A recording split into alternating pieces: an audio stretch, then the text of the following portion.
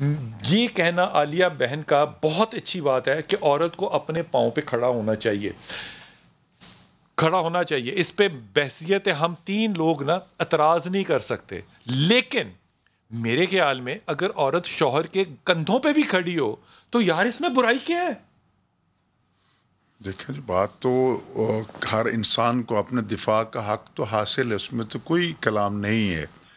लेकिन शोहर को जो अर्रजाल का वमून अलसा औरतों के मामला का ज़िम्मेदार ठहराया गया है कि वो चार दीवारी के अंदर बैठे उसके तमाम हकूक का जिम्मेदार और मुहाफ़ शोहर है। तमाम हकूक में उसका नान नफका शामिल है उसकी है हिफाजत ज़रूरियात उसकी जितनी भी इंसानी ज़रूरियात है सबको ज़िम्मेदार है वो।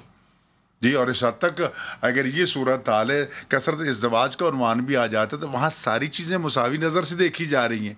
यानी एक को प्यार से देखा है दूसरी को उसी नज़र से देखे।